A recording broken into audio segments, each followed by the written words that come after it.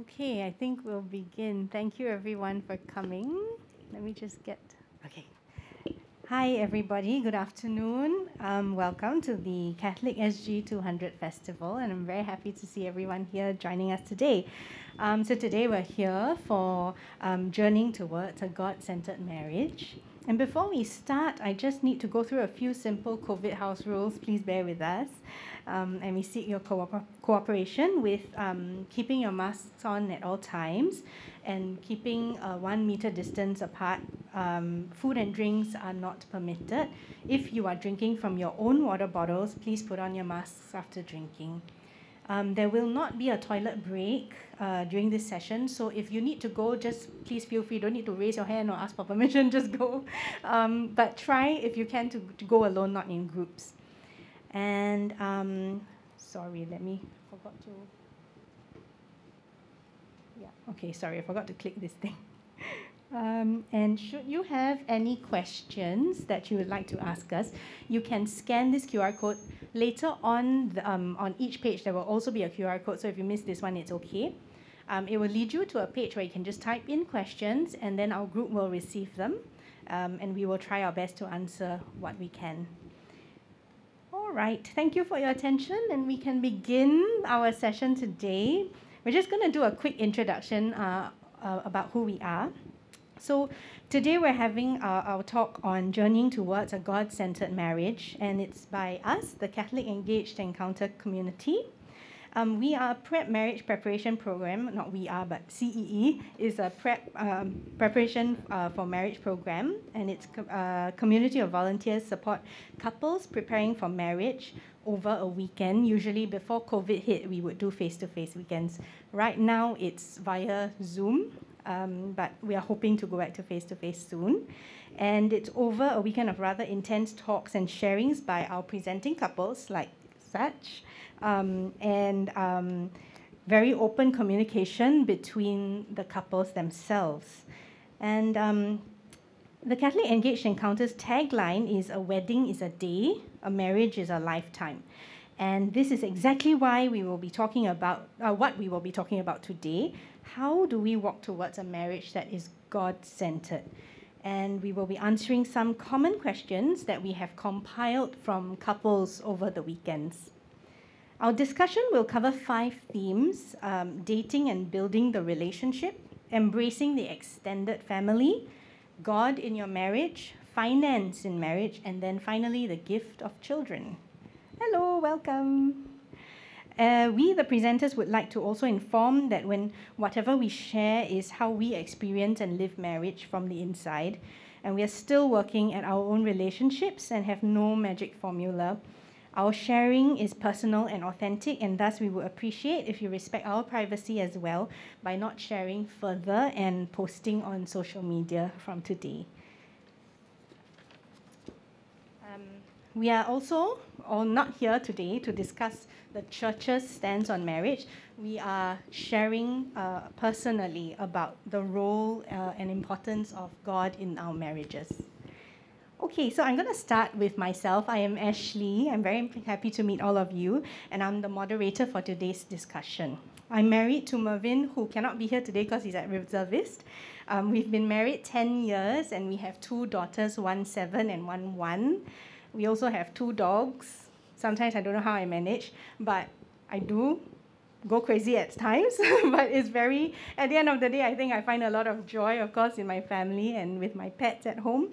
Um, I run, uh, we're both, uh, Mervyn and I are both entrepreneurs. I run a childcare center, and Mervyn runs a business, two businesses, one in AV and one in networking. Um, most of the time, we find ourselves very busy, but I think at the end of the day, we wanted to somehow find somewhere we could serve together because we've been praying about how we can serve together. I think it's um, for a Catholic couple, to me, I think it's important to serve together. And um, we found CEE um, and have been serving since this year. So we're pretty new in the community. Um, just a little bit more background. Um, I have known Mervyn, my husband, for more than half my life. I had a crush on him when I was 15 years old, and we met in church.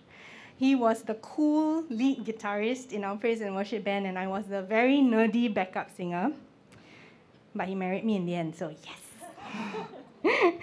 so yeah, um, so yeah, thank you uh, for joining us today. And um, today we have with us Alan and Marie over here on my left, and further down we have Christine and Andrew. Um, Alan and Marie, would you like to introduce yourselves? So um, I'm Alan, here with my wife Marie. We've been married for about 19 years. Um, I work as a country manager for a couple of markets in the health and wellness space.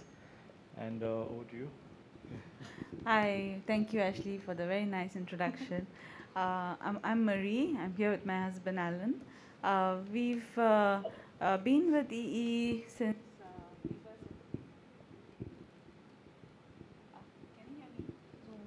Can you hear me? Yeah. So we've been with EE since we attended ourselves uh, as participants, and we started presenting only in 2005.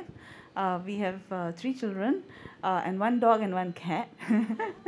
yeah, our kids are 16, 15, and 9 year old. And uh, uh, so I'm, I'm in.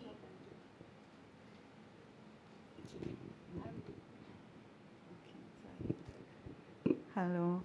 Yeah, I, I'm, I'm a HR manager in a digital marketing company. Uh, that's about it. Thank you. Over to Christine and Andrew. Thanks, Ashley. Uh, hi, everyone. My name is Andrew. Um, Christine and I have been married for about three years, uh, but dating for about eight. We're still quite new in this whole marriage thing, so uh, figuring it out as the days go by. Uh, I'm a businessman. I'm a consultant in the F&B space, and Christine is a disputes lawyer. My husband, being my husband, has said everything necessary. so anything else we will share during our discussion. Thank you, Christine, Andrew. Thank you, Alan and Marie. So we're going to start today um, with our first topic. Um, okay, sorry, that's us. And our first topic dating and building your relationship. So, as couples get to know each other during the dating phase, um, deciding whether or not the person they are dating is the right one, um, for many men, deciding whether or not to propose to their ladies, or even some women nowadays who feel ready to pop the question to their guys, um, and then navigating through the engagement period. What are some important topics couples might want to discuss about before getting married? I think this is really important the before getting married part, right? Andrew and Christine, would you care to share about your thoughts and experience on this? Um, like I said uh, earlier, I, I'm a businessman and an entrepreneur, and uh, we've been dating quite a number of years before uh, we decided to get married. So we were, we were quite comfortable in uh, a day to day. We we thought we talked talked about everything already, but uh, as we progressed on closer and closer to the wedding, there were changes in uh, the business. So I closed the business business just before um, the wedding, which isn't the, the, the best thing financially. And then we had the, the banquet to pay. All this pre-COVID, lah, so it's a, quite a hefty sum, 600 people. Um, there was the, the wedding banquet to pay. There was HDB to pay, a lot of things to pay, a lot of people to pay. Uh, and of course, um, if if we after we got married and we were blessed with children, then that was also on you know we had to put aside some money for, for that. Um, and it was only at EE where we actually had to sit down and talk about these things, and I found that this was quite helpful, quite useful, uh, and we both, you know, discuss our finances, hidden debts, uh, you know, what we want to do in future, where should the money allocation be, and stuff like that. And it was good to be on the same page, and kind of accept each other for, for what we wanted to do with the potential like matrimonial money. So at the time um, Andrew closed his business, uh, this was in 2018. And, um, you know, being a lawyer, my reaction was like, oh, if you're going to close the business, then although the company has uh, debts to clear, uh, you know, they will just die with the company. Because practically the creditors will go after the company if they want to, right? But this is my lawyerly thinking. But I She's could, kept me out of trouble quite a lot. Yes, sir. He's very welcome. but I mean, the the but I could see how important it was for Andrew. uh, that there were certain debts that he wanted to pay personally. I was like, oh my goodness, are you stupid or are you like, you know, really, really a good person, right? But A poor good balance, I businessman. Yeah, but because it was so important for Andrew, um, then we had a discussion on how we were going to manage it together. So of course there was going to be implications on, uh, you know, the financial planning for the what wedding banquet, and we, we, we were going to get a flat, a resale flat, um, and then the down payment and everything, renovations, all these things. Um, uh, like Andrew said, we did, we didn't have to, I, suppo- I suppose, speak so much about the finances until closer to the wedding. And then with this development, then it prompted us to be a bit more candid with each other. So when we attended EE, there was, of course, um, uh, guidelines on how to man- have these discussions. And we attended EE in 2017. So it helped us in 2018 later on. And until today, I suppose, now that we've been married for three years, uh, we also we also make it a point to check in on you know what's a priority, what's necessary, what's a luxury, what's good to have, actually not necessary, and uh, it's kind of an ongoing conversation that we do have. So I think finance is very important. Yeah, and that kind of open. um, the rest of the discussion topics. Like without money, you know, uh, we talked about our dreams and aspirations as well. Like uh, I wanted to do. I studied uh, psychology in university, and I'm, I'm supposed to go and do my masters. I, I opened a bar instead, but Yeah. masters was always in the books, and money still needs to be set aside for for studies. And um, after talking about finance, kind of opened to other topics. Yeah, yeah. And uh, one of the other uh, topics that was important to the two of us, which we also discussed, was um, our family in future. What our fam- what kind of family do we want to build, and also how our respective families we want them to feature in our lives moving forward. Uh, so we both come from uh, close knit families, and um, we had agreed that we want there to be strong bonding between the families, Mm. and also with our in-laws, uh, which can be a bit tricky. Uh, but anyway, for our children to be close to grandparents, for our children to be close to cousins, for us uh, as uncle and aunties to be close to nieces and nephews, these were things that we knew we wanted for sure. But it's very easy to say, it's very hard to do. Uh, and the commitment was not only to um, you know be present at family dinners or Chinese New Year at Christmas, uh, but also to to check in on our siblings a bit more frequently because Andrew has five siblings. I by now all married or have partners. Some have children. I have two sisters, um, and uh, one is married. So there are a lot of um, you know by the time you plan to meet every couple, um, and then you add on the birthdays and um, the f- occasions, we are pretty meeting them pretty frequently. But again, at the big gatherings, you may not be able to have uh, good catch-ups or really understand like you know how they're growing, what's concerning them, can we help them in any way? Uh, so we are talking all the time, or rather, we do make it a point to coordinate our schedules uh, to make to to achieve um, this this this couple goal that we have. Yeah, so this was all discussed like a business plan meeting before we got married, by the way. it sounds like there was a lot of practical topics covered, yeah. And um, also, would you have any advice, Andrew and Christine? I mean, you covered a lot of very practical things for couples um, to talk about, but how would you suggest that a couple starts that kind of conversation? I think you have to be open to talk about anything um, and not be defensive, especially for topics that uh, you have pushed under the rug or pushed aside for, for a while. I think for us, maybe it was the in laws topic, but um, it comes to a point where you need to be open and, and just talk about it. Yeah, Uh, it sounds like it, it takes quite a lot of courage, I guess, in a sense, right? And trust. Yeah. and and unity for sure. Uh, we have to tackle or be in that mindset where we are united as a couple to tackle these uh, issues, potential issues. I think perhaps depending on the personality of each of you, you may want to raise a subject in a different manner. And also, as we have learned and been advised repeatedly, timing is very important. Uh, you want to raise an important topic, must choose the time where the person, the other, your your partner is not stressed, uh, is a good frame of mind. After and you eat. have you have, you have time to have that discussion. Uh, I think for Andrew and I, uh, he's more vocal and he's more open to you know just say something candidly. For me, I still struggle um, with uh, with saying ex- ex- to identifying exactly what I'm unhappy about. So you know about how you know there is people commonly complain, yeah, women don't actually say what they really want, right? Uh, I mean, to me it was true to a certain extent, but uh, Andrew did help me along during our dating, our periods of dating, uh, and I'll explain later on because I think he, for him, it was like, oh, you know, if you're not happy about something, we have to talk about it. Um, and for me, it's like, uh, it's very, very difficult. Um, but we eventually agreed to a compromise, like, you know, if we were quarreling or if I was not happy about something. But I didn't want to talk about it at that moment. Mm-hmm. Um, he would be okay with it, right? And I tried to negotiate before. I'll talk to you tomorrow. Then he's like, no, no, no, you cannot. Maybe can you can you do like 30 minutes instead or like an hour? You take the time that you need, and then later on we eat something. Yeah. and then later on we we circle back to it, and I think he helped me to articulate um, what it was that was causing me unhappy. So of course, over years of practice, uh, it has become easier for us. Uh, you know, to sometimes we can read each other a bit better. Like, okay, okay, okay, I think he's not happy about something. I better not probe. You know, let's discuss it later. We park it later for discussion. Um, yeah, but it's a lot of um, I think effort to try to understand each other. Be patient even when you're upset with the other person, even if you think mm. you're right. You know, which I always think I am. Yeah. yeah.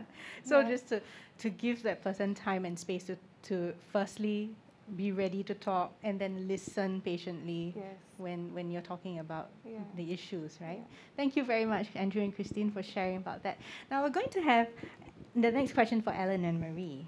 So, Alan and Marie, how do I know? This is a question that some people ask during weekends, right? How do I know that the person I am marrying is the right person for me?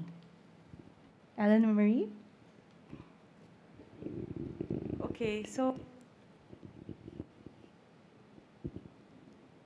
so uh, uh, Alan and I we met each other in university. Uh, we were in different colleges, and uh, we met uh, during a Catholic uh, college inter-college fest, festival. So at that time we were just friends. we didn't really go through the dating phase. we went for a, a, college camp, and then we attended each other's birthday parties, and we had a big group of friends. So uh, we never foresaw, foresaw that we will get married one day. And it was only uh, when uh, I attended uh, his brother's uh, birthday party at home uh, that uh, his mom saw me. So ours is more like an arranged love kind of marriage. he will share more on that. Okay. so it was, but it was during our. so what happened was that um, when we got to know each other a bit better, uh, we, st- we still kept in touch. I came, I came, so both of us actually studied in India, and I came to Singapore first, and uh, we were in touch over. E- in those days, there was no email as such; it was handwritten letters. so romantic. yeah, and then um, uh, maybe the first Hotmail account I opened was to communicate with him. Truly Hotmail. yeah. yeah, and then and then uh, yeah, so it was a sort of a long distance uh, relationship for a while, and then uh, eventually he he he he proposed to me on the phone, and uh, uh we. Uh, because I had only known him as a friend, and uh, we thought that okay, let's let him come to Singapore, and we attended our EE weekend. we had not decided on um, this actually. What happened was we thought that uh, we'll go for the wedding, and we went to our our parish priest, and he said that no, you marriage preparation course is not done uh, overnight. You have to attend a weekend. So we were quite shocked that we have to attend a three-day program in Punggol. Uh, so we managed to get a slot. It was quite a last-minute thing. We attended the weekend. It was during the weekend that a lot of topics uh, which we had never talked about, even when we knew each other in university, like money, um, how do we manage our finances, how do we manage uh, our, our families, our respective families. Some of the values uh, that I, I had no idea he had some opinions about. So all this came about during our uh, Catholic Engage Encounter weekend, and we talked about uh, when how to space our children and uh, how how much money we will contribute to our families, and things like that. Um, I'll let Alan share about how he met me and what other things that uh, he saw in me. But for me, what I found in him that made me feel that he was the ideal partner for me was uh, his simplicity, uh, his willingness to listen uh, to me and uh, not be not be not let, uh, accepting everything that I said because I, didn't know he had uh, strong opinions about many things, uh, uh, but that made me respect him and respect uh, his uh, thought process and understand him better. Also because we both came from Catholic uh, family background, so our faith was a very strong uh, binding factor in making me realize that this is the kind of uh, husband I want uh, to spend the rest of my life with. I'm all those things that she said. so I'm all those things she said. It's all all true, absolutely true. Um, but actually, for me, it's it it might sound a little bit uh, like how it would be in films. Uh, like Marie said, I, I mean, we met in the camp. Uh, I saw her in one of the uh, in one of our college activities, and when I saw her, it, I just told myself, "This is the girl I would like to marry." Wow. So it, it was just that there was no uh, fact based or anything as, as such. It was just the fact that we were from the same college, we were from the same place, and I liked her. Uh, and but I didn't have the guts to go and tell her. So uh, I kept it to myself. But I I, I recall um, saying a small prayer to myself that you know um, if I were ready to marry someone, it would be like her. And it's just ob- observing her during the, the the activity, the way she was very simple, humble. Uh, she was a, she was in a leadership role, so obviously for me it was like, would I actually be able to you know uh, date someone like her, get even get married to her? Because I got to know later on that she was uh, even the leader in her in a university, etc. So um, I just told myself that that prayer, uh, and I kept on with it. Um, and then, like Marie said, one time when she came home um, to to my brother's uh, birthday party, and my mom made a comment that um, she's a very nice girl. I, I- quite like her, and that was kind of an affirmation for me to know that okay, I've thought right, and I should continue pursuing it in some direction. But like Marie said, she came off to Singapore. I moved to Middle East after my university, and um, we just communicated as friends. But deep down in my heart, I still very much desired to to get married to her. And uh, one day, as just part of uh, my trip back to India, I went to her house and um, the question came up about her, and uh, I, I admitted to her parents and to her grandmother that yes, if I were to, if I were given the opportunity, I would love to marry her. Uh, I went back to Middle East, uh, and and then. Uh, yeah, I proposed to her over the phone because we couldn't meet in, in person that time, and uh, I think at that time Marie was still deciding, you know, whether as friends how would we turn out to become husband and wife and life partners, and um, so I came here, uh, and, and then we spent some time together, and then we decided to go for the, uh, the, the our marriage preparation plans. But all along, for me, it was always about um, when I looked at her, it kind of gave me a very long-term vision that she was the one I wanted to be for the rest of my life. And something that sealed it for me was just the tagline of, of Catholic Engage Encounter, which is wedding is a day and marriage is a lifetime. So yeah, that, that's the Thank I'd like to share. you. Thank you. So, um, you you said earlier that you prayed for a wife like Marie because you were when you saw her, you fell desperately in love straight away, yes. and God answered your prayer. He gave you exactly Marie. so that's thank you for sharing. Um, Actually, and- I yes. um, for Christine and I it was slightly different. We weren't uh, as lucky, if you want to call it that, that to you know find the one. Mm-hmm. Uh, when we met, she was dating someone else, um, and I don't have the the same charms as Marie to to, to win her over. to make her To make her- fall in love with That's you. right. Um, but it is, I think, a decision that we make every day, especially now that after we are married. That um, although we don't really believe in the one, uh, it is my, it is our choice or my choice that she is the one for me every day, Yeah. and um, especially after marriage, where this decision is is harder to make for her.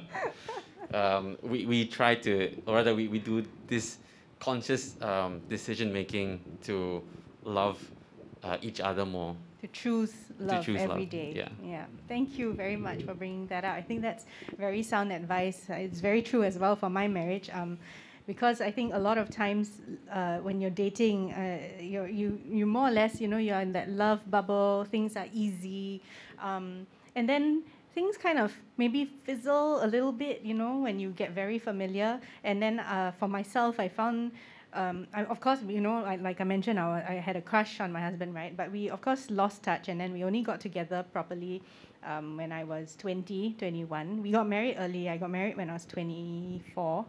Um, and of course, I think maybe with age having something to do with it as well. I was very young, very idealistic as well, and I thought, oh, you know, I found the love of my life. I married. I'm mar- now marrying him, yay! But um, I think increasingly we also faced um, issues together. You know, as we got to know each other more and more.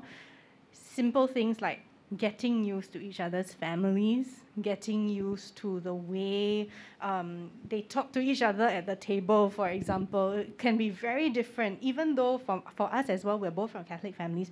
In fact, our families knew each other um, from church. But even then, when I first, you know, went and saw his family, there was still a bit of culture shock. And then there's that extended family as well. Um, of course, uh, with things slightly more um, with as the years went by, I think things getting to know each other made things easier in some sense, but also as we progressed in our relationship, more questions came up uh, as we decided should we get married, uh, should we take the next step.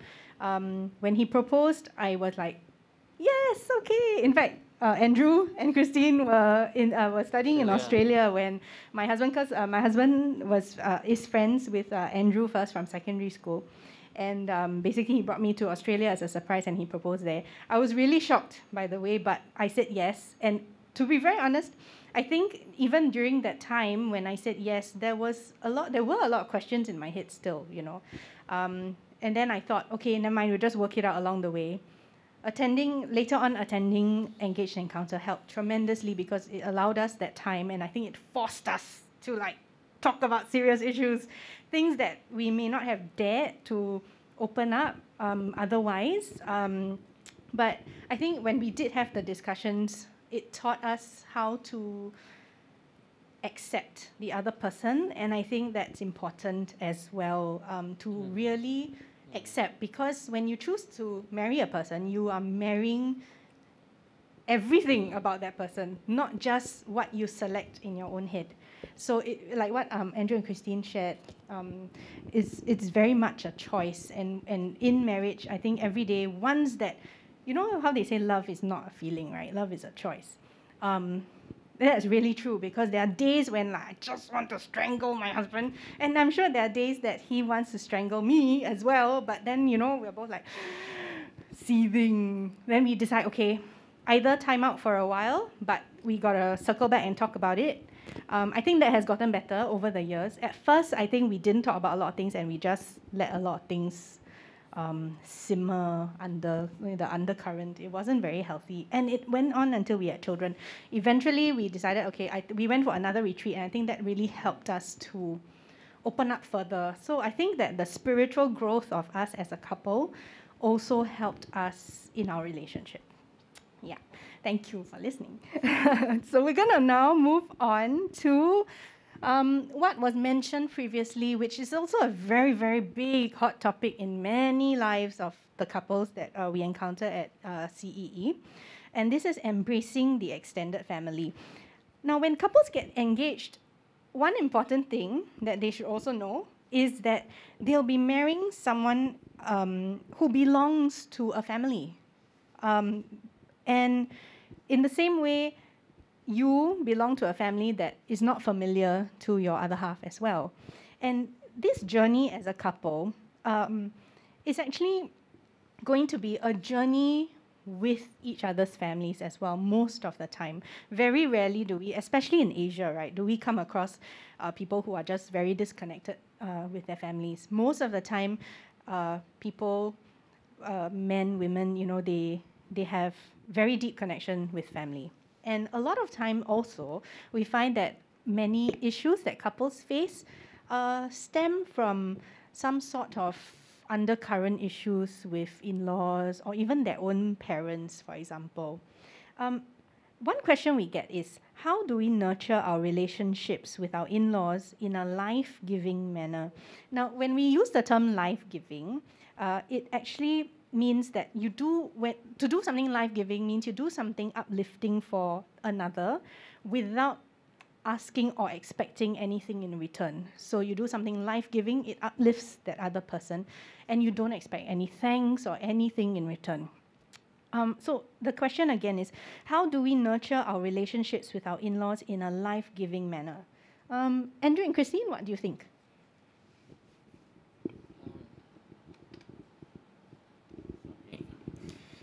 This part I know is recorded, so I'm going to be a bit more PC. then they're going to put it online, my mother in law will watch. Anyway, my mother in law uh, was a bit uh, protective. Um, it, it, seemed that Christine and I were uh, the first in her family to get married, and Christine is. Uh, sorry, and I was the, the, first one taking away a daughter in that sense. Mm. So her, she was a bit uh, protective at the start, which made me feel a bit uh, uncomfortable or um, you know why am I facing so much roadblocks mm-hmm. and, and stuff like that. Um, but I chose to you know um, of course show respect to, to elders and seniors, but more so that I didn't want to add additional stress uh, to Christine in that relationship. Family is important to me and the both of us, and I didn't want to cause more strain or any strain at all. Yeah. So um, I think Andrew was uh, he was very. Okay. Um, sorry, I forgot what I wanted to say. Uh, yes, so with my mom, uh, truly she was more protective, and also I was the first of my sisters to be in a serious long-term relationship. So I guess you know they also needed to warm up to the idea that eventually I was going to get married. Uh, we had differing views on when was the time to start looking for for a house, when was the time to get married um, because what we thought was the right time, they, they have different ideas about it. Um, and I was also stressed because, you know, if this is someone that I love and someone I can see a future with, of course I would want um, my parents' blessings. Um, and that was also important to me. Fortunately, we were on the same page on that, and that's why he didn't give me he didn't give me any grief. Um, uh, but because it's it's my mother, right? So I felt that it was more uh, it was more, it would, it would be easier for me to help take the first step to initiate, well, I mean, to, to get, well, to help the situation improve, I suppose. Um, because for him, it may, it may not go down too well. Mm. Um, but I mean, after discussion and praying about it, and also I did pray for years, um, we also realized that, okay, if there's more, for whatever misgivings or reservations my mother may have, um, regardless of what we think, you know, whether well-founded or not, um, perhaps the, the treat, the solution would be for there to be more opportunities for interaction between uh, Andrew and my family. Mm-hmm. Uh, so she can observe firsthand, you know, what he's like, ascertain whether his intentions are true and genuine. um, and and I think that that did help um, over It was also years. very good that I got the support yeah. of the rest of her siblings and, and uh, father-in-law so, yeah. Uh, yeah. so that did help. Yeah. So they um, they they also help to you know speak with my mom or encourage her to be open to him coming for I don't know family events or like wedding dinners that we were invited to attend as a family. Mm. So it was a it was a whole effort. it was a whole effort. Yeah. But I think what what we learned from from it was that it's important.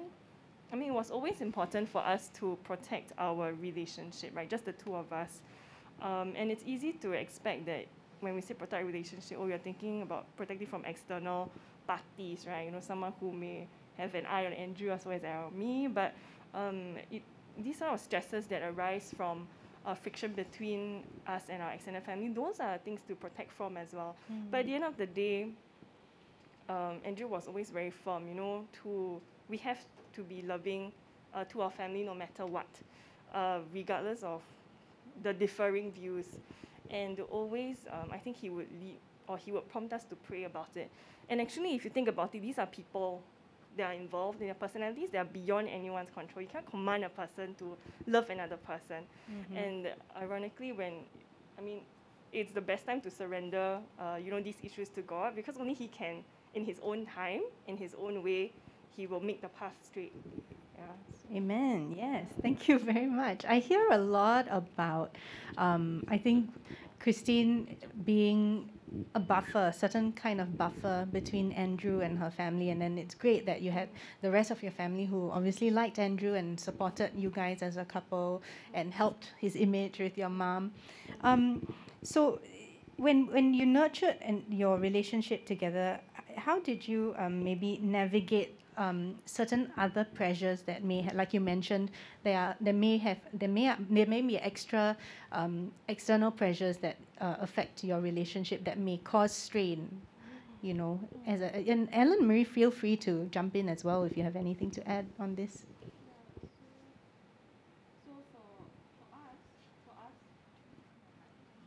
You need to swap my. Yeah, I think uh, I need to swap my. So for us, uh,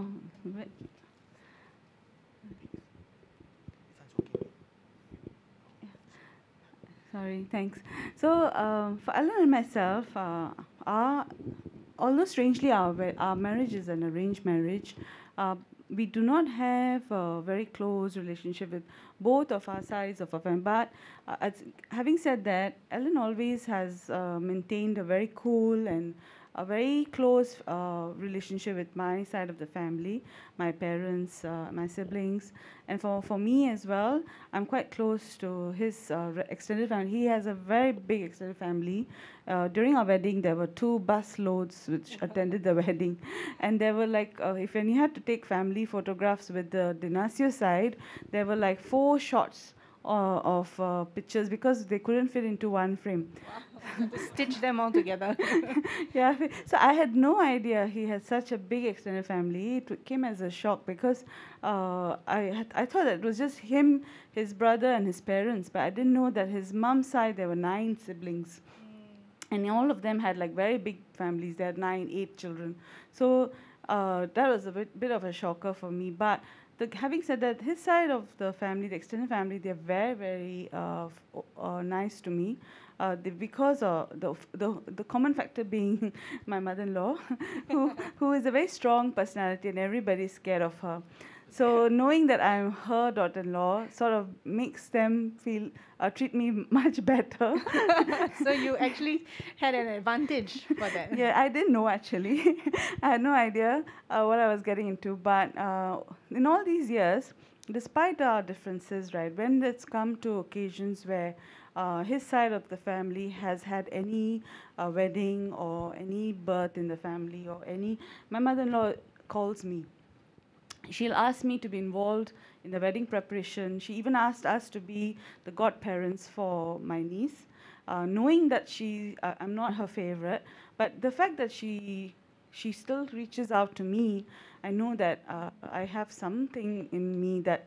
Uh, she finds uh, t- suits, suits her uh, suits her liking, and I'm very grateful for that because uh, I've always uh, looked up to her, and it was actually when uh, when Alan said that I met his family the first time when I went for his brother's wedding, is because I took a bunch of uh, yellow roses. I had no idea that it was her favorite color, and uh, that that made her like me so much, you know. And I always think that yellow is a is my redeeming factor. yeah.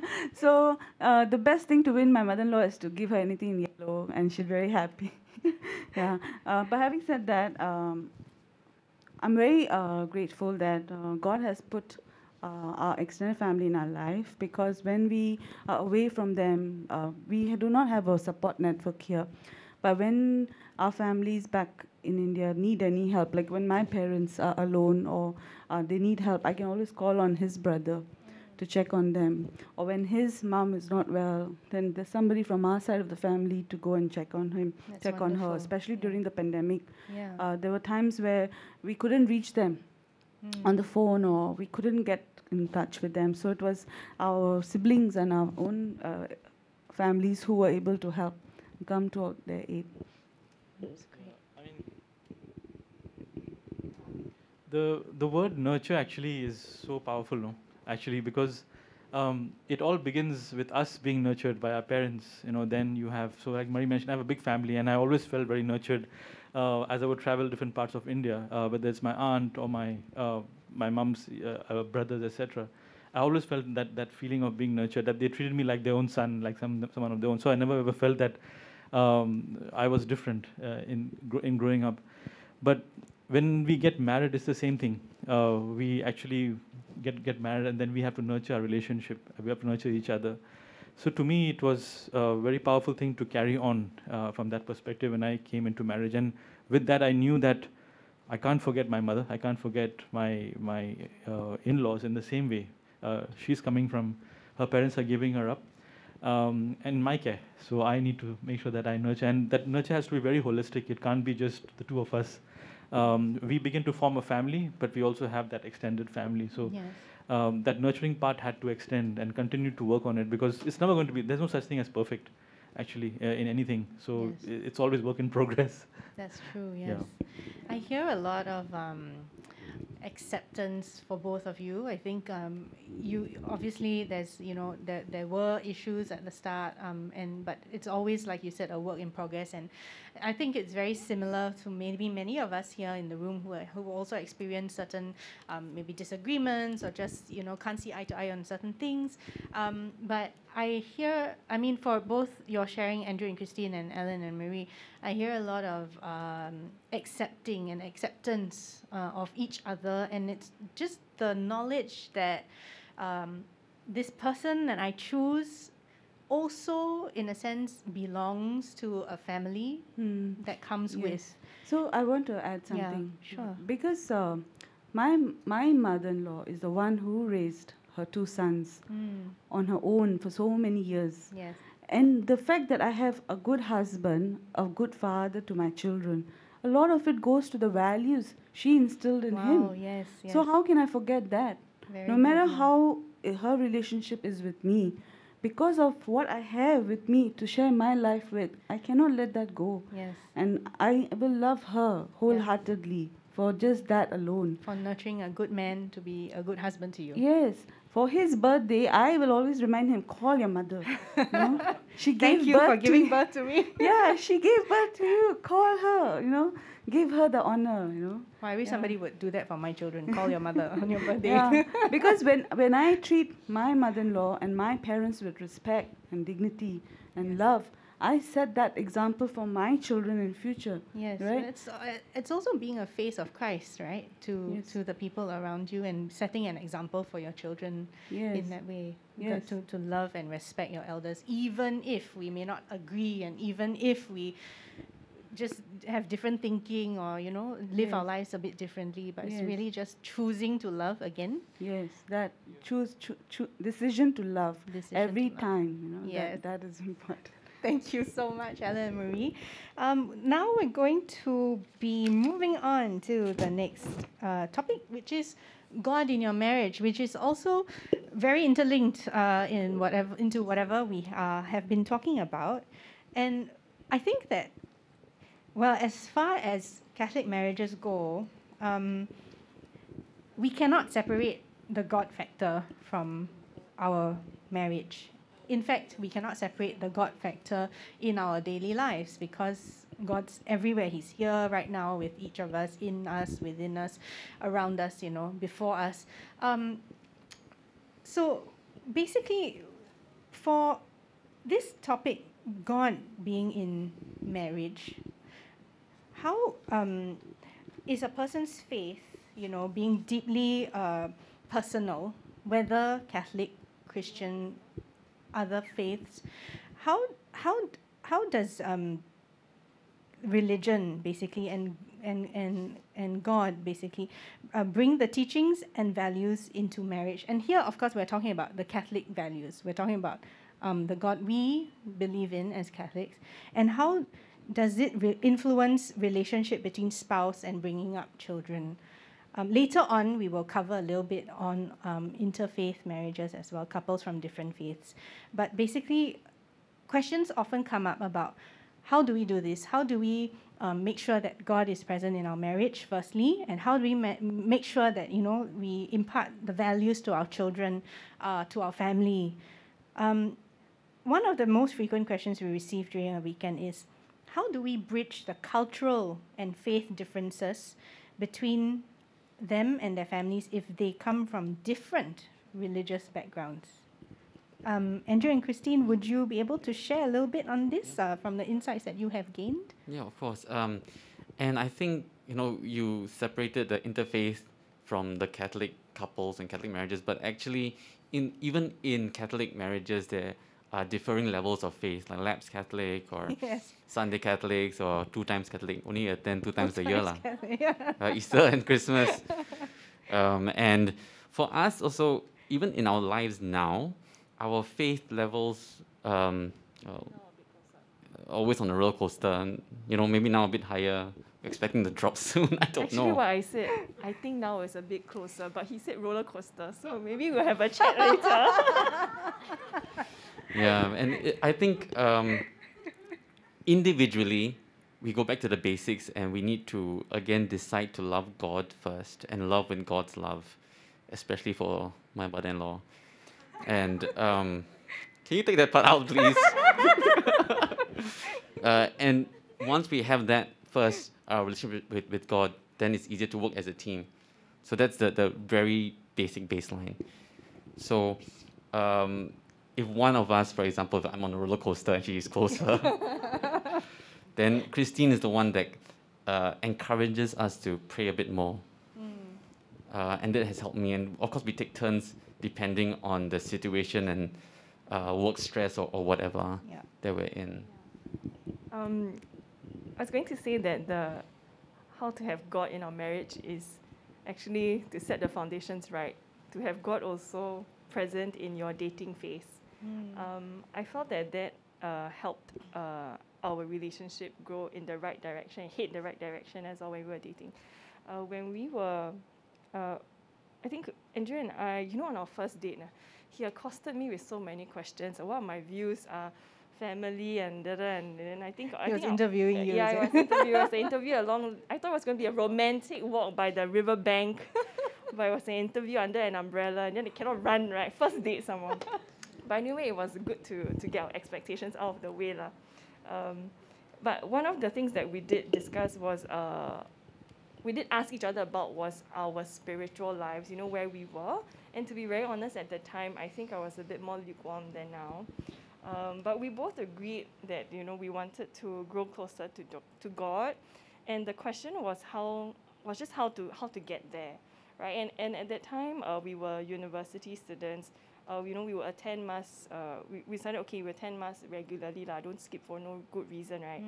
Um, but Andrew also took the bolder step to initiate praying together, which took which for me took a while to get used to. And when I say pray together, um, I don't think I was praying in person, but because we were living in uh, separate residences, right? So maybe we would just pray on the phone uh, together. And praying for me already, I feel is very personal. So to pray together as a couple, to hear what he's praying, and for him to hear what I was going to pray, um, made me feel uncomfortable. Uh, but um, I think because it was something that we agreed, you know, could help us grow closer to God, then of course we had to, we followed through. lah. And that has helped. I mean, that, that sort of um, practice has continued with us to today in our marriage. Not that we do it every day, but uh, we try to every day. And also, especially when we know that the other person is going through a very trying time. Um, you know, I can pray for him without him having to be present. I just let him know, okay, and I pray for you today. I hope you have a good afternoon. God bless. I'll see you later. Uh, simple things like that. Um, and the other thing that I also wanted to share was, uh, he he's a very brave man. Uh. He said, you know, when we were when we at the early days of our relationship, when we were there were still a lot more to find out about each other. there were some um, quarrels along the way. Andrew said, okay, I have a good idea. You know, when we get angry, what we're going to do is we're going to take a time out, and then uh, one of us will initiate praying, right? So we'll hold hands and we'll pray, you know, for peace and for wisdom and for patience and understanding and listen and all that. So I was like, oh, you know, that's very good, lah. That didn't last very long. Yeah, well, it didn't last very long. So we did try at the beginning, right? Um, but it was difficult to consistently implement. And then I remember Andrew asked me once, right? Because like I didn't initiate, and then he didn't initiate. Then he asked me after things had calmed down. Uh, he said, um, you know, we agreed, right, to hold hands and then to pray. so how come you didn't you didn't pray? So I said, you didn't pray what? Then I prayed. So it was it was not um, it was very good, uh, I, ideal. But um, we also this is just an example of how we have to I think work together to find out what works for us, and you won't know until you try. So at Mm. least we tried that. It's like okay, didn't work. Then we just modify lah, you know, as we go along. Mhm. Yeah, but yeah. Yeah, this is something that uh, we wanted to. That's okay. This was something that we wanted to kind of uh, implement in our own families, our own, as in our own family moving forward, uh, our own traditions, our own practices, and how best to, you know, be, be the face of Christ uh, if we have children and, and, Yes. and whatnot. To start as a couple praying Yeah. together. And i think it's always a i mean like like you said christine start, starting when you are angry with each other can be very idealistic but if you manage to do it it might actually work wonders. Um, for myself and my husband we were always very separate in prayer. Uh, we had very we used to think that Aya, no need to go to church lah on Sunday. Anyway, you know, like my relationship with God is very personal, what, right? So why do I need to go to church to show everybody that I'm a good Catholic? That's what we used to think.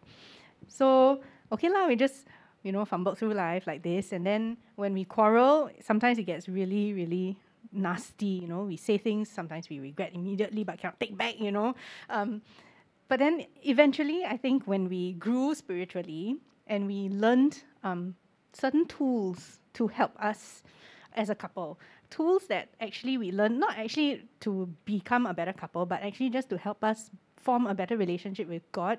I realized that the moment um, we did that, I don't know if it's the same for you guys, but the moment Mervyn and I focused our lives more on God, everything else just kind of click, click, click, click, click, click, click, just like fell into place. Um, we became better for one another. We became better parents. I think almost overnight, friends, family saw a difference in the way we were with each other as well. Um, and sometimes they would, you know, mention things like, "Hey, nowadays you're very loving, ah." And it's just like you know things that I hardly thought twice about, like mm, last time never hold hands. Last time like you know everything's just like bothering about children, and then like, "Aya, husband don't eat, never mind, I just feed my children first, right?" Or like, "Oh, wife is behind carrying one million bags, but then I'm just walking ahead because I'm texting on the phone and I got business to deal with. So like, never mind lah, wife deal with kids and one million bags, never mind." Um, so, but but but when we again grew spiritually and we became closer to God we focused our attention on okay, we have to pray and we have to try and be better Catholics and we need to love God more. I think in somehow we grew to love each other more as well because it taught us in don't know, no, God's really wonderful, I have to say lah. He is he he just taught us how to be better towards each other as well. In loving him, we also loved each other more. And then we we learn to love our children more. We learn to love our parents more, in-laws, parents, you know, brothers, sisters, in-law. Um, and and I think overall, it was just suddenly our lives changed, you know, and, and really for the better. So, Alan and Maria, I wanted to ask you because I know you um, have a sister in India who got married, and, and she, um, or is it a brother? A brother, a brother in India, and then got married to a lady who was Hindu at first, right? Can you share a little bit more on that about how they managed that transition or how they managed the relationship at first?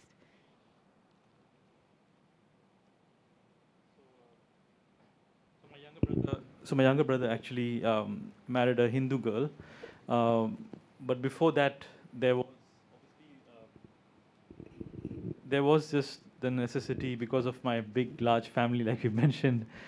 They would all say, you know, why is he marrying outside? So that was a big challenge for him, and uh, I think it, it just came as a blessing that um, his wife now decided to journey and do the RCIA. Um, and my brother never actually forced or put it as a condition in the marriage. She just decided to do it because he was just living the faith every day. And that, I think, definitely helped.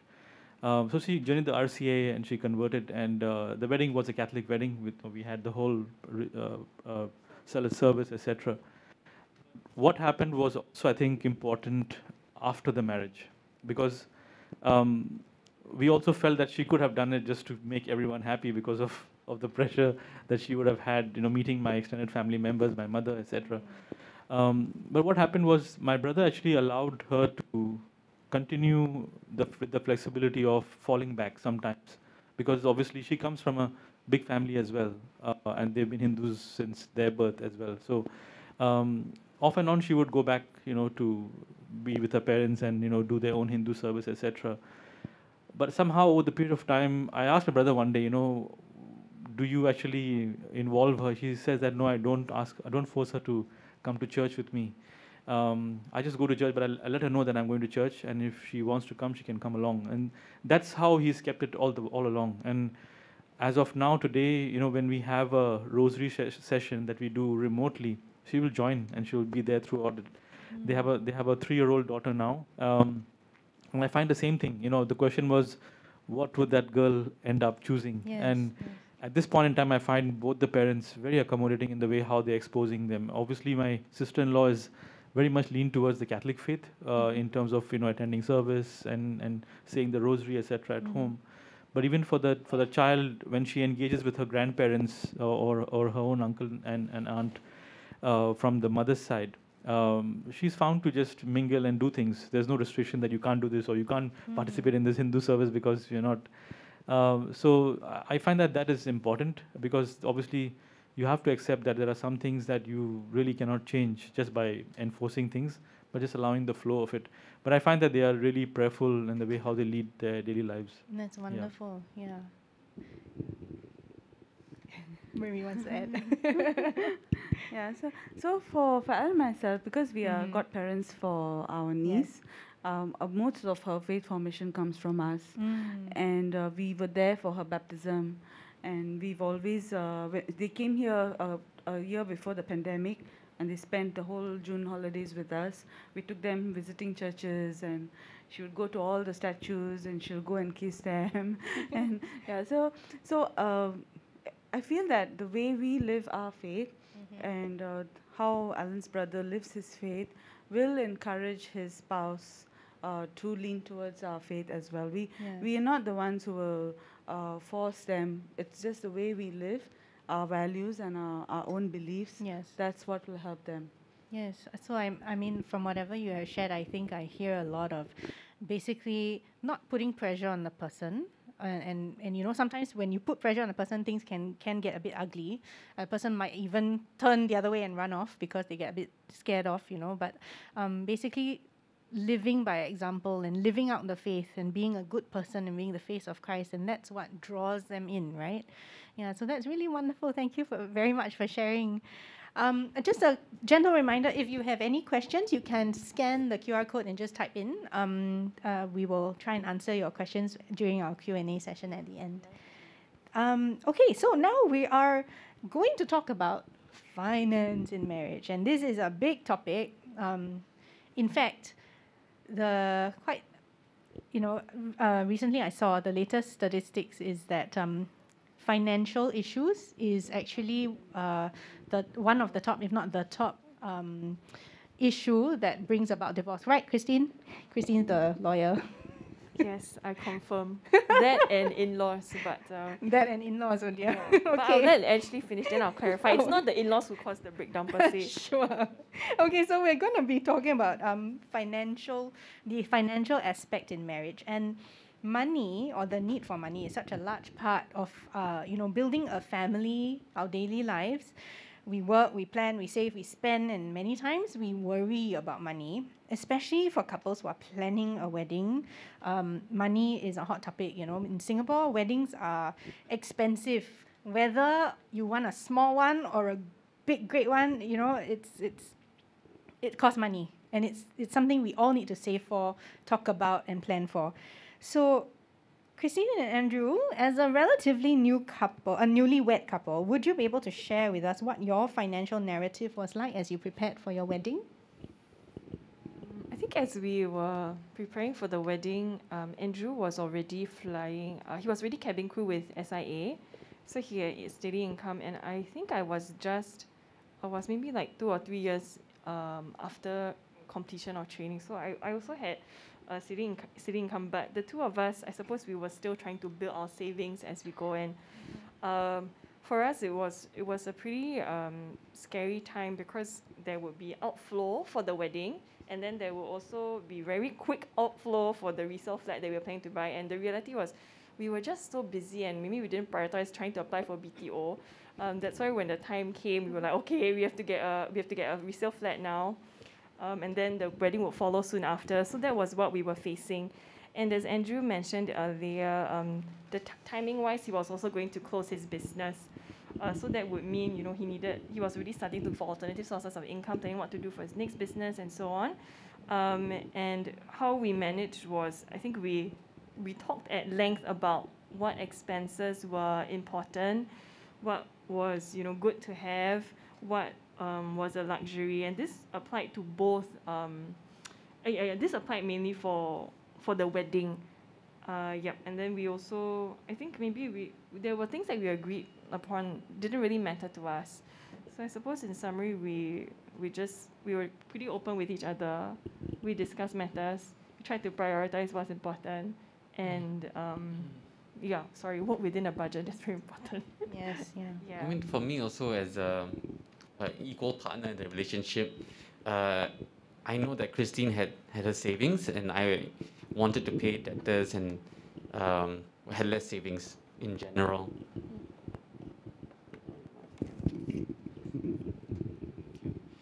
Um, so I also had maybe self-implied pressure to catch up with the savings and contribute equally um, to the wedding or to the marriage uh, as well. And um, it was difficult, but we had that conversation, ego aside and all. And I think that uh, what Chris, Christine mentioned, yes, th- those were the practical steps that we took. Yes. Um, but at the, at the very baseline, at the start, we uh, surrendered this portion, the finance portion, to God, and uh, everything kind of fell in place. So the resale HDB that we were looking at first was, uh, you know, out of budget, um, and then we didn't press. I think everyone needs to, to make some money. We didn't press for them to to lower the, the price, uh, but within the same week, um, they called the, the seller's agent called us back and said they had dropped 80k. Wow. Um, and that was just nice for our budget with all the you know other grants and whatnot. Wonderful. Yeah, and this was the first house that, that we, we saw and liked, and yeah, And then it was yours. Right, yeah. yeah, yeah. Thank you. Thank you very much. And just wanted to ask how how did you I mean with financial planning and you know money being a very practical daily life topic, right? How did your faith come into play when you make decisions on um, about all this? I think it was, I think we were always praying for, um, for, I mean, when we disagreed on what to spend on, then there'll be unhappiness.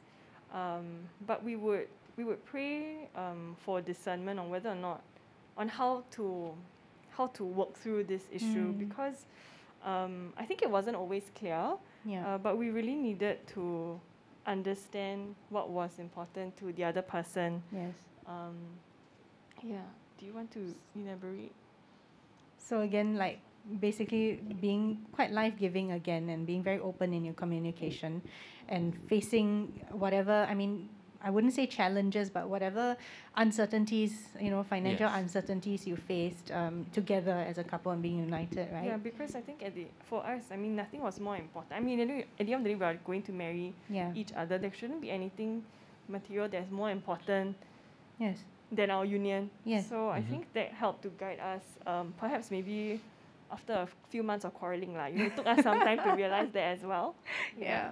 Well, it's true. I think that it's very common, right, for um, couples preparing for marriage to be very easily swept away by the whole planning and then I want you know I mean I remember being a very young bride and not much money um, because I was really like you know just few years out of uni hardly worked a couple of years but then you know he proposed and then we're like okay lah you know yeah, just go get married um, but then we realized after a while that okay we wanted a wedding that um, was more for our parents than for ourselves. So we both agreed on that. We said, okay, we want to celebrate because we both are the first in our families to get married.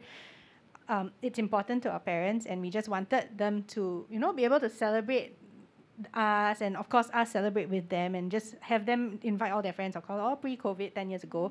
Um, so at the end, it was a really wonderful uh, wedding party, you know. Um, but there was a, quite a lot of stress, I think, planning for it because we were so young, we didn't have much savings, but we were going to have like I think 360 people at our wedding. Um, we thankfully uh, our parents were, were very generous with us. We didn't ask of them, but they offered and they said, okay, you know what, we can front you first, you know, the deposit that you need for your hotel, and they were like, okay, thank you. And then when we collect our ang pao, the, the, that night we count our ang pao, the next day we just deposit in the bank and oh, it goes back to our parents, right? Um, but I think at during the planning phase, I was really stressed because I was like, I don't know how much money we're going to be able to fork out for this. I don't know how much money we're going to be left with after our wedding. Am I going to have to like, I don't know, eat grass after that for the rest of my life? But it was really real issues, I think, um, during that time. And I think that money can be quite an ugly topic as well. Um, and even for you know for a married couple already who is planning for children, again that's the next step that requires money, right? I mean in Singapore, going to the hospital costs money and bringing up a child costs money and everything basically, right? Um, how Alan and Marie did you plan for this? Like when you had your family, um, how did you uh, weave your financial narrative into your relationship? So for Alan and myself, uh, uh, from from the very early days already, we were already uh, we were just bare minimum. Uh, we we didn't have any savings at the time, and we were both renting a, a room actually before when we got married, and we didn't have a house of our own. Um, for our wedding, also similar to you, it was more for our parents. We let them do everything. We only were involved in the church ser- service. We were we only did the selection of the readings, the choir hymns, and who will do what. Everything else was left to them. And so finances were, were there was was im- were important. Always is still important, but uh, we didn't put a lot of um, uh, stress on it because so for us we, we were married very young also we got married when we were 25 and uh, when we had our first son um, honestly speaking we were very fortunate that that's the year that the government came out with the baby bonus scheme. So it helped a lot. Um, uh, the the gynae expenses were also very expensive. Um, uh, and all my pregnancies were very complicated. Uh, so uh, just so happened that one of our colleagues recommended this uh, gynae to us at Thomson Medical, and uh, for some reason he reduced his uh, consultation. I won't say which doctor, because yeah, but he was very very kind. Uh, he reduced his consultation by half for us, and then uh, at that time, the first my first child, right, I only paid. Uh, I only topped up seventy dollars when I got discharged Oh wow! because the everything was covered the MediSave covered everything so i didn't think that oh it was going to be so so affordable Yeah. but my second child i topped up 1300 and the Mm. third child more than 8000 so the inflation rate God, kept God, going God also knew like okay at this stage you need this and then at this stage okay lah they can afford Yeah. it. so so for savings wise i was um, for for our first child right we didn't really have any money to buy the the crib or the pram or anything. So our co- we we got a got a gift vouchers from our colleagues. So we bought that. At that time both alan and myself were working in a in a restaurant company. We had an american boss. And he was uh, very very uh, kind. He gave us like seven boxes of clothes from infancy to seven years of age and One we box for each year. one box for each year, all branded clothes. like, you know, and we were like wearing normal jeans. The teacher, our child was always in branded Gap and branded clothes like that. So I felt like Providence played a very important part in our planning. Yeah, and uh, uh, we never really chased after money, but whenever we needed it, it just came at the right time. Wow, yeah. So God took care of you, yeah, and gave in His time when when He when He saw you needed. Yeah, thank you very much. And um, so basically now in with with um, you know finance being a, a really um, practical thing, but then you were talking about how you know providence played such a big part in your story, um, your faith basically. So did you? Um, was it a constant prayer for, for God to provide? How did you uh, weave your faith into to this? So we, um, Maria and myself both uh, came up came through very traditional families who obviously uh, we grew up saying prayers at home and all that. Mhm. And we did novenas, etc. So that Yeah. continued with us. And one of the places we used to go, I remember, uh, was to Novena Church, Mhm. you know, and uh, really go on our knees, pray fervently, ask for those, pro- ask for pro- providence, ask for the gift of faith, and the, just the gift to persevere through whatever we could, you know, endure. Uh, we we had very small jobs at that time. Uh, like we shared, we didn't have uh, savings, but a huge amount of faith. That's wonderful. a huge amount of faith in God and a huge amount of faith in each other. Just knowing that we will get this through together as as a team, as as a couple, Yes. uh, and just knowing that you know we also had a whole lot of um, community that time. We had just started to you know engage with the Catholic Mhm. Engaged Encounter, and that community was also a big support for us in terms of you know praying for us, um, sometimes coming over to our place, yeah. providing us some guidance, and that was just God's way of blessing us.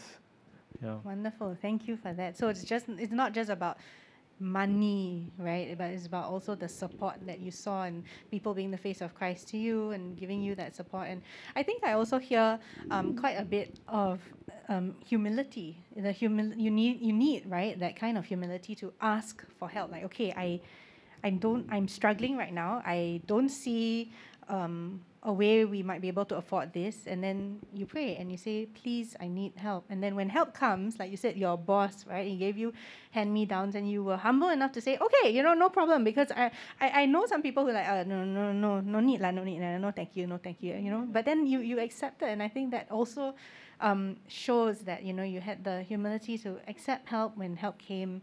Um, and really i think your story is a, a one of providence right so thank you, thank you, Alan and Marie. Um, and one of the another another very um, common question that couples ask us is, how much discussion do you think couples need to put into financial considerations, um, and how can we do this with God still being in the center of it all? You know, and would anyone like to comment or give advice on this?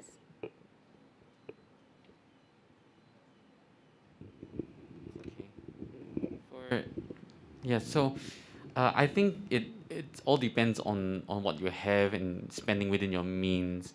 To tie it back to faith is is really depending on on God's timing, like uh, Alan Marie and for both of us for our HDB. Uh, I can't really say you know set aside how much, especially in, in this new new era of COVID. It, it's different from what we went through. Um, but I mean, you guys can share as well. You have the link to the Q and A if you wanna like put in your comments for this part and help each other with with a more I don't know relevant answer in, this in this COVID climate. Then then please do it. Not too sure how to answer this question anymore. Actually. All right, no worries. Thank you for sharing. All right, um, so again, um, QR code is here. If you have any questions, just feel free. Uh, they, they don't need to put their names down, right, uh, Philip? Yeah, so anonymous, don't worry. We're not going to say came from this person, so don't worry, okay? Don't be shy. All right, so we're to Your mother-in-law will never know. Yeah, your mother-in-law will know. All right. Finally, we are moving on to a very big topic, which is accepting the gift of children. Um, having children, you know, is a really large part of becoming a family. Um, and when we get married in a Catholic church, um, as part of our vows, we say that we will openly accept the gift of children from God. Increasingly, couples are wondering if they can have a choice about whether or not to have children. And many couples talk about this huge decision in the run up to marriage. Um, and it's definitely an important decision to have. That's why in our um, Engaged Encounter weekend, it's one of the topics that we talk about in depth, you know, because we need to. Um, I think it's important that couples are on the same page when it comes to do I want children? Do I not want children? And um, some couples, in talking about their preferences about having children, cannot seem to see eye to eye about this. Maybe one partner wants children, the other does not, and oftentimes this may come as a surprise to the couple, uh, to the couples, you know, who think that all along, like everything's fine, and then one day we ask this very simple question, and then they're like, "Oh dear, like how do we go forward?" You know. Um, but how can couples come to a decision as huge as this? Alan and Marie, would you care to share about your journey about become, uh, um, to becoming parents? Thank you, Ashley. So the for us, uh, when we did our weekend as a young couple before marriage, we never really thought uh, when or what or how many kids to have. We did talk about it, but it was not like uh, going to be, oh, we're going to get married and have our first child at this month. Like, so it, we thought that we, we, since we had never gone through the dating process, we will give each other the time and we'll get to know each other for two, three years, and then we'll think of our first child. But it just so happened that uh, we conceived our first child within the first year of our marriage. Um, but um, because of a lot of work stress and not no no family support here, um, we lost that child uh, due to a miscarriage. And um, then subsequently, when we had that loss, uh, both of us experienced uh, so much grief that we felt that we didn't want to wait three years. Yes. We wanted to have our child soon, but God was not uh, um, willing to bless us yet, and we waited three years to get our firstborn. So in that time, what happened was that uh, we thought that maybe we wouldn't be able to have a kid because I'd had three miscarriages, I had a tumor removed, Okay. and we thought that okay, maybe we should just um, have a fur baby, and so we uh, adopted our first dog, uh, Tasha, and uh, sh- uh, so after we got her in uh, April, uh, in June, I conceived my first child. Wow. And this was quite close after my tumor operation. So the doctor was very uh, worried Yes. and told us that you have to be very careful because your wound is not healed. Okay. And because of our previous history of miscarriages, we were both very careful to uh, throughout the pregnancy, and we had to. I had to be on bed rest for a long time. I had this condition that uh, I had excessive saliva.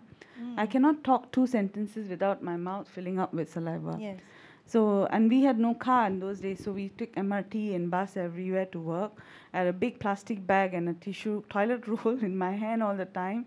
People in the MRT would look at me like, "Oh my God, what is this woman?" but this plastic bag and then such tissue roll. It was but a symptom of your yeah, it was. It was. I, one in ten thousand. yes. I'm so blessed, you know. One in ten thousand have this condition, right? And my when I was going to give birth to my first child, my only question to the doctor was, "Am I going to have this for life?" okay, the baby will be born, I know, but will this go away?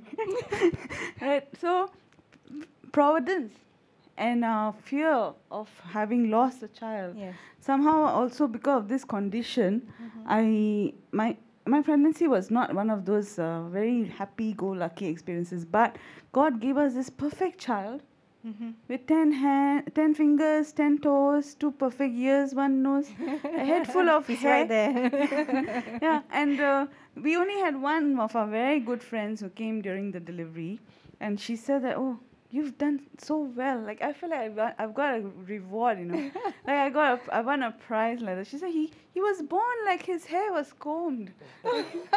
there was someone combing inside. yeah, yeah. So I I don't know why all these years, right? I was like so afraid of carrying other people's children. Mm. I don't like to carry babies. When I see couples in the plane with babies, I ask the flight attendant, "Can you give me a seat far away?" like, you know, I was like that, no. And yet, when we had our first one, I couldn't let him go. Like he was always, I will always want to be around him. Yes. Yeah. So the same thing happened with our second child. Uh, she came quite close because of our previous experiences. We didn't do any planning. Mm. We just uh, went with the flow, and with, within nine months of uh, having the first child, we conceived our second one. Yeah. And then uh, she she also we had complications with her, and then, but the two children grew up like twins because they were only like few months apart, Yes. and uh, got whatever was bought, bought for our first one was used for the second one. We didn't have to buy extra, like you know it was not like spending a lot of money. Babies don't need a lot of money; they just need a lot of care and love. Yeah, at that stage, not no. In Singapore, education is also very affordable Yes. you know so I've, honestly speaking my only expenses happen after they became teenagers when you have to buy them phones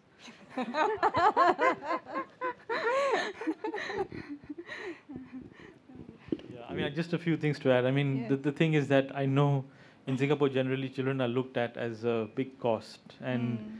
I think if you stop looking at the cost and look at, you know, the joy and the love that they bring, Yes. uh, it's become so so meaningful. Of course, you'll have days that are not not that great, Yeah. uh, but to know that uh, they are just right after you, right? Yes. So and, and they're going to continue with you. It's such a beautiful thing to have to have. Uh, and yeah. life has just so much more meaning and purpose when you have children. Uh, Yes. Yes. And for you, I mean, you know, when you were planning for a child, maybe, you know, later on, you know, you waited a bit and then when you wanted, you know, then you lost your child and then you, but you hung on to that, that faith and you had blessed two children within two years and then another one, how many years later? Six years later. So now you have three beautiful children. Um, yeah, so I think that that's a story of faith as well. Thank you for sharing. Um, for myself also i think when it comes to children i have two two daughters. One is seven one is one. The reason why there's a huge gap is because um, uh, we also had many losses. I, I've, I've, I've had six miscarriages. Um, and each of them as painful as you know the as if it's the first loss you know none of them were easy. Um, but the same i think like you i we, we had it planned, you know, we said, okay, we'll get married and then engaged for two years, married, and then two years later, going to have our first child, and then later on, uh, wait two years and then have a second child, but it didn't happen that way, you know. Um, and basically, once things started going the way it did, um, I lost my first child, I, the first pregnancy I lost. Second pregnancy was my daughter, my first daughter, Caitlin. Um, it was very difficult as well. I bled so much throughout my pregnancy, threatened miscarriage twice, had to go to the hospital and stay there, and then cannot move and cannot work, and basically like that. And then followed after that, five more. I tried really hard. Uh, Firstly, it's, it, was, it was difficult for us to get pregnant because I have um, fertility issues, you know, that I didn't know about until, of course, when we were trying for babies, then we were like, hmm, what's going on here? Then we go for check, you're like, okay, you know, this is going on. So not easy, but I think it also made the losses a little bit harder because in the first place, not easy for me to conceive, and I had to take medicine and basically feel sick all the time. And during my pregnant, my second pregnancy also um, was quite a miracle because I believe very strongly that um, God gave me my second child uh, really. I know all children are gifts, but He gave me this child as a certain reminder of His grace. Um, her name is Caroline. I gave birth to her last year, and actually, when uh, we were we were at a point where I thought, okay, I'm not going to have children already. I don't think I can have, you know. That's why I got two dogs, right? But then, um, uh, but one day after I attended a retreat, um, this is the CER retreat, um, um, uh, and, and I, I, I was I was just prompted to do a Saint Jude's novena, so I did it. And on the seventh day, I haven't finished the novena, which is nine days. On the seventh day, I tested positive, pregnant. And I was like, hmm, because I was praying, you know, for a child, and I was praying the St. Jude's um, novena, and I was pretty uncertain because so many times I test positive, but then few weeks later I lose the baby, or even few months later, and then I have to go for an operation to, you know, um, so it was hard. So at first I was like, okay, okay, I'm I don't dare to be happy. I don't dare to tell many people. So I just told very close friends and family to to you know pray, please pray for us. So they prayed, and then this time, so many people just said, you know what, Ash, like don't worry, God is healing you. God will take care of it. Don't worry. And so many times I got this message from random people. I even had a friend call me and say, hey Ash, you know what? I have an aunt who, and we were just saying family prayer, right? And then I prayed for you. And then she just told me, tell your friend, don't worry, God is healing her. And he, he called, he called to tell me, and I was like, okay, tell your aunt thank you. And at at that point, I was just like, really, you know? But true enough, God really was true, and He He um, carried me through this pregnancy. And I one night, I thought I had reached my second trimester, 13th week going 14th week. Okay, safe. Yes, safe already, right? Because once you reach your second trimester, the chances of miscarriage goes down like by a lot, like you know, 95% safe. On the night, that very night, I was just like lying in bed, watching a movie with my husband. My first daughter was asleep in her room, just watching a movie. You know, suddenly I felt a gush of liquid, and I thought, have I lost control of my bladder? So I opened the sheets and I looked, and I was sitting in a huge pool of blood. I just looked at my husband, and he looked at me, and he, of course, was shocked, but he didn't say anything. And he just helped me out of bed, and we were hobbling to the toilet, blood everywhere. And I just sat on the toilet bowl, and I just thought, okay, I think that's it lah. You know, there's so much, there's so much that it cannot be possible that this baby is still alive. But my husband said, I think you don't worry. I just have this really strong feeling and this sense of peace. Baby is okay. So I just looked at him. I didn't dare to agree with him. I didn't dare to like say anything. I just nodded and then I just cleaned myself out. He helped me and helped me back to bed. So we didn't rush to the hospital because we were actually due for a gynae checkup the next, the very next day. So he asked me, "Do you want to go to hospital?" And I said, mm, "I think no need lah. We just stay. Um, anyway, what are you gonna do?" I thought they're just gonna wheel me in, check me, and say, "Sorry, baby's gone." So that was on my mind. But he said, "Don't worry. I have a good feeling about this." And uh, but all my other five, you know, same thing. But you know, so we went in the next morning to the doctor's office. I was trembling as I stepped onto the the bed to be checked. And I was very ready for the doctor to just scan. And as with all my other pregnancies, tell me, I'm sorry, ma'am, but we cannot find a heartbeat. I was very prepared for that, and I and he and, and Mervyn was gripping my hand, and he, he before the gynae scan, he just said, "Have faith, have faith." And then in my head, actually, I was thinking, I'm trying to, I'm trying really hard, but I don't think this is gonna work. Then suddenly I hear. And I just cried because there was my baby and there was a heartbeat and the gynae just like, you, you, bled so much last night, but your baby is still okay. And then explain to me what was going on. Apparently, I had a hemorrhage in my womb for no apparent reason. And um, I just had to rest. Baby was okay, and I carried her to term. And to me, after going through all that I went through, it was really, really like a, a miracle. Yeah. So I think that when I think when it comes to accepting children, for me personally, yes, I will have as many as you want me to have, God, because, you know, maybe it's because it's so hard for me.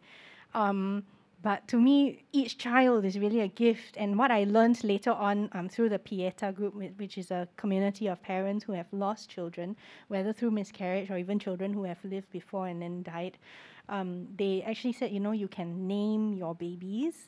And I went for a Pieta mass and at the cathedral um, before COVID, and we prayed for our babies. And actually, yeah, I mean, long story short, God gave me a vision. I cannot even begin to explain this, but He gave me a vision and He allowed me time with my children and He showed them to me in heaven. I can't even like really put this in words, but He did. And uh, uh, I think that that sealed my faith for me, like really sealed my faith for me. Yeah. So for, for when it comes to children, I think that we can plan and plan and plan as much as we want, but sometimes God, I don't know. I mean, I, until this day, right, I don't know why He took away our babies, right? We, we don't know why.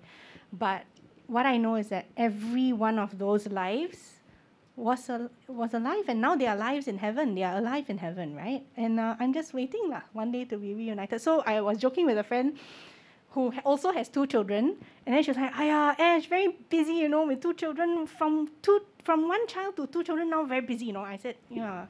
But I think actually maybe when I go to heaven, I'll be very busy, you know, because I got eight. Thank you. Thank you. Thanks, Ashley, for sharing and that testimony. Uh, it's very heartening and Thank you for that. sharing. Thanks. Thank you for listening. Um, I didn't expect to share that today, actually. And um, okay, so uh, now we've actually come to our Q and A time. So we're just going to move into one of the questions. Sorry, I think I talked too much, then my mic no more battery. okay, um, we'll just have uh, one question come up, which is as a couple, how do we pray more regularly? Um, Andrew and Christine, would you like to take that one? I think, as with everything, there needs to be some effort at planning. Um, for Andrew and I, it's in the morning and sorry, it's in the morning and the and before bed. But depending on our schedules, we may not be awake or going to bed at the same time. Uh, when we can, we do. So that's the first thing, um, planning. And then the second thing is a structure to your prayer, which was also something that uh, only after years, you know, then we feel like, okay, this is the right format for us. As I shared earlier, um, it was difficult for me to uh, to pray aloud and then to also because I think when you pray aloud, you have to formulate and you have to speak in sentences, right? In your head, is like, oh, God, this is what's troubling me, and A, B, C, D, E, right? Uh, so that took um, effort, but um, I think uh, generally the the format is um, we seek forgiveness uh, for all that you know we have we have committed all, all the sins that we have committed or you know my sin of omission. Um, we give thanks uh, for all that we have been blessed with, whether or not um, there are things that we know about. There may be blessings that you just don't know of yet. And then, of course, there's the petitions, uh, which will be what we want to lift up for God, uh, you know, to work on, right? Um, but it's always with the caveat, which is it must be subject to God's will. And it's also something that I think we struggle with. Andrew knows also we, we, we struggle with a lot. Um, don't know, but we do we, we have come to realize that actually when you say, you know, God, if I would like A, B, C, D, E, uh, but only if it is in accordance with your plan, your timing. When you say it and you mean it, it's actually very liberating. I don't know how to explain it, but it's very liberating and. Um, Especially for those of you who like to delegate, you can just delegate to God with your will. Yeah, but we always feel uh, a sense of peace Hmm. after that. Yeah, so um, I think. So the question was Um, the question is, as a couple, how do we pray more Yeah. regularly? Yeah. So I think going to mass um, helps us, keeps us in check at least every week. Um, but what we also do is we try to find. Uh, there are a lot of resources available for Catholics. Actually, Mhm. there's a whole like host of novenas. Like ev- for every saint, surely there is one. And I think try to Yeah. build your. Uh,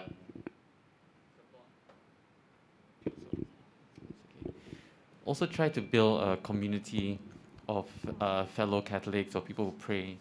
Um, because at times when the both of you are tired, then it's your friends that will, will Yeah. come in and family will come in and pray together with you and pray for you, Yes. uh, in fact. Uh, also knowing that we're not just praying for each other, like Christine said earlier, we have a format, and after our own petitions, uh, we do pray for uh, our friends, our family, our pregnant friends, the soul in purgatory. So now it's like a duty, you know. I Mm. we have to pray for the souls in purgatory and stuff like that, and that kind of uh, puts a bit more pressure on us to fulfill. Uh, yeah. Thank you very much for answering that. Um, we have another question, which is also actually very practical. Um, does quarreling help maintain good relationship? Alan Marie, would you like to jump in on that one?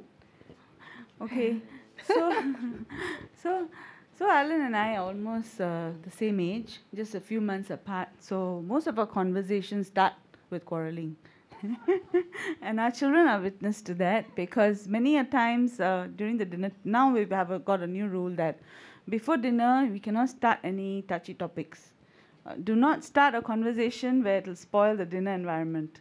So we try to uh, push it to later after our prayers. So After praying, that's a good time.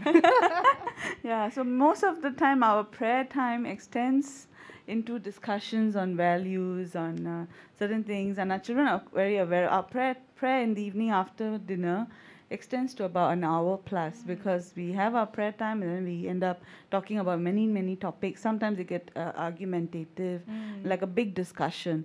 It's not like we're fighting or anything, but just that we, as a family, we are very open in communication. So if the communication or the quarrel ends up with making peace or towards a constructive decision together as a family, then yes, it is good for the marriage.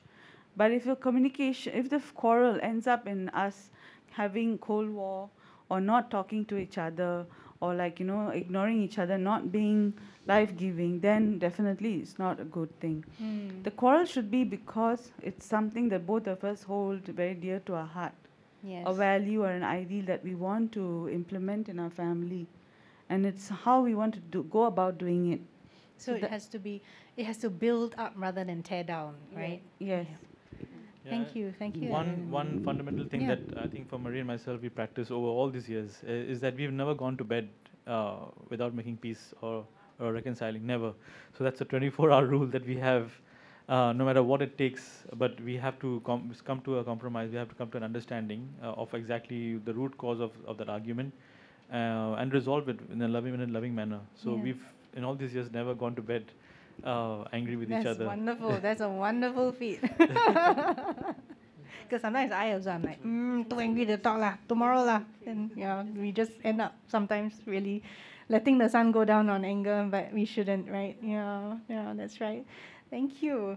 Um, we have another question, which is, um, can you elaborate on in-laws being the top cause of divorce? Maybe we let the lawyer answer this, Christine. Yeah, maybe if Andrew had continued on to be a psychologist, maybe he would have more to say than me.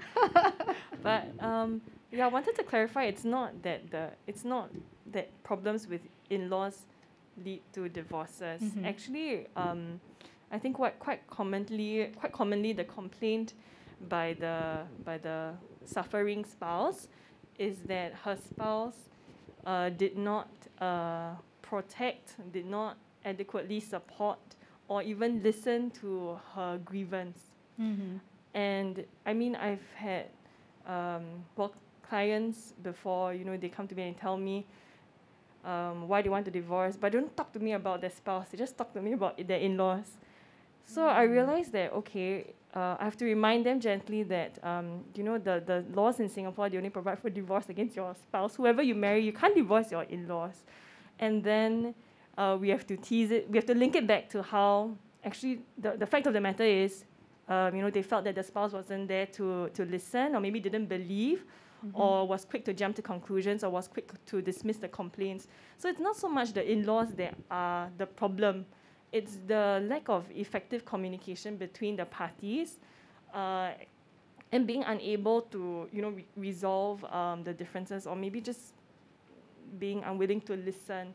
And that i think goes a long way because when you feel that your spouse isn't listening to you or doesn't trust you um, and is not and was not trying to do anything to help you improve the situation then the underlying foundation of the relationship gets injured Yes. and thereafter it's very hard um, for you to expect you know um, to, ex- to expect a- affection or intimacy and closeness and then it's just downhill from there Okay, so the issues are basically sometimes even though the in-laws may on on the superficial you know on on, on, on face value it's the in-laws causing problems but when you dig a little deeper you realize that the, the issue is the foundation between the couple yeah, Alan Marie anything to add on this Yeah, actually, I agree with Christine a lot because this one I've also witnessed and I've experienced it also that when you when the in-laws in-laws are not the cause for divorce, it's actually your partner. When you're faced by faced uh, by uh, aggression or a rejection from anybody from your fa- husband's side or wife's side, you as a husband and wife must stick to each other, must Mm. stand up for each other yeah and support each other. united front right Yeah, united because you know your family best and Yes. he will know his family best. So he or she must go back to their own parents or family and say that please uh, give the person or like you know defend your partner.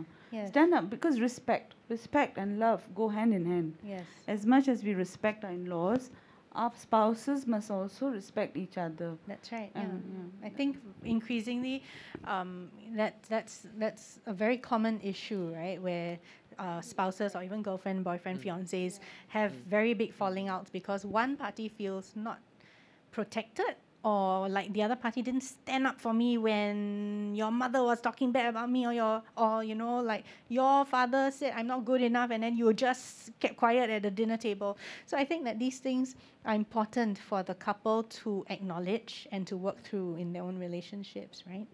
Thank you.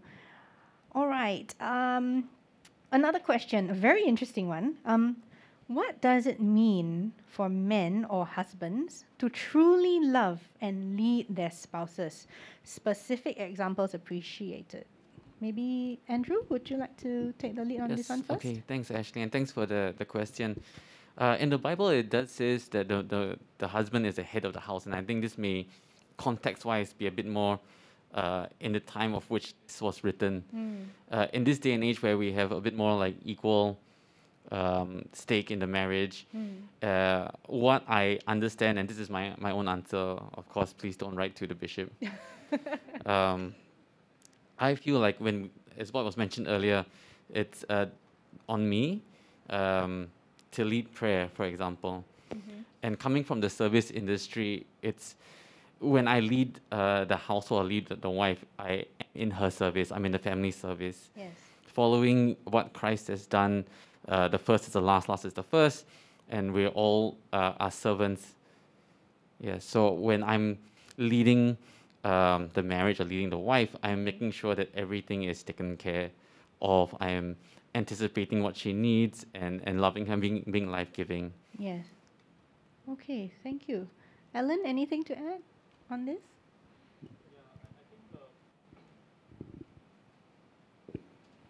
The whole thing on marriage, as I think we've been talking through a few, uh, a few uh, uh, just going back a little bit, Mm-hmm. is about being life giving, and and for the husbands because you know that you have to take the lead. It's just how it is uh, in in in our, in our in our families, in our growing up spaces. Mm. Um, it is just a necessity that you have to take the lead of actually doing things specifically. It can be very small things. For example, you know, taking the kids. Um, to drop them to school on a regular Mhm. basis when you know that your wife uh, could be busy doing other things, uh, household Yeah. chores, or uh, when she's ill, you know, just giving her a massage or asking her how she's doing. It's very simple, Mm. small acts. So actually, Um, taking the lead here is not so much what a lot of you know cu- culture understands taking the lead as, which is like I'm the head of the household. You listen to me, and everything you, I say goes. But it's more taking the lead on showing that love and care, and being that first, the person who takes that first step to show love and care for your family, right? Thank you. Thank you very much. Um, okay, so following from the previous question, the other question is, which links, is what does it mean for wives to allow their husbands to lead? Marie, would anything to add on that? The question is, what does it mean for wives to allow their husbands to lead? Okay, so for us in our marriage, right, in the beginning, I was the one who was always coming up with all the ideas and plans and decisions. But it took me a while to Mhm. understand and accept that Alan also has his own views. He Yes. also has his own way of doing things, and to respect that and to allow him to decide. So, in our, in our early life, we made a lot of boo boos, made a lot of bad choices. We went and made a lot of wrong decisions. But it's because most of the time I would uh, suggest something and he will just uh, let me do it because he thought that that will make me happy. But then I realized that it was not good for our marriage. And uh, I've, we have come a long way where now every decision we pray, uh, we sit down together first, we talk about it, and then we don't decide on it immediately. We will pray and discern, we let it rest for a while, and then uh, we consult each other again. And most many times he's also the one who will take the decision. Like in our household, all purchases for electronics, big bu- big budget bu- buys, he'll be the one like car servicing when it's supposed to be done is his la- area. Where simple things like cooking, grocery, the children's school fees, all is my decision. So, So, we certain things we- are split. yeah we just- s- yeah. we do that as a partnership. Okay, so it's like an agreement that you guys okay, I handle this and then I'll I'll do this and then as a wife you just let him take the lead in certain decisions, but you have the autonomy to also make decisions in other things as well, right? Thank you. Christine, anything to add? I think uh, I'll just add on a, a short Mhm. bit. Yeah. Um, it, like Marie says, sometimes uh, you between the between us we delegate and conquer, right? Mm-hmm. Yeah, so you delegate. Um, if one person is going to take charge of this thing, then we respect the, his decision to Yes. be. But uh, there w- has never been a case where the decision is made without any input from the both of us and without consideration of um, the views from the both of us. Yeah, Mm. so I th- I think in the in the Catholic context, it's not the I lead and you follow uh, full stop. Yeah. I think it is implied that I mean it, the the foundations of our of our faith is to be loving, right? Love God, Yes. love your neighbor, love your spouse, and that would never have been uh, envisioned uh, if it was a bit more Yes. of a command. Yes. So there's always that Yeah. essence of respect and a very large essence of love, right? Yes, but- love first. But yes. whatever decision that we agree on in the end, even if I may not uh, be fully um, behind it at the Yeah. beginning, I will still give my support. Okay. Yeah. Thank And you very much for that. Mm. Thank you. Thank you very much, everyone. We um time is up. Unfortunately, we did have more questions, uh, but we're so sorry we can't answer all of them um, because of time constraint. So we have to wrap up today's um, talk. And um, in case you want to keep in touch with us, should you be inspired to join our community, we are very fun. um, you can email any um, here um, if you want. You can take a photo of this, um, or you can check out our newly revamped website, uh, CEE um, Singapore SPOR.sg. Um, yeah, so thank you everyone so much for your kind attention. You've been a wonderful audience, and I hope you uh, benefited from the sharings uh, from today. Thank you, everyone. God bless.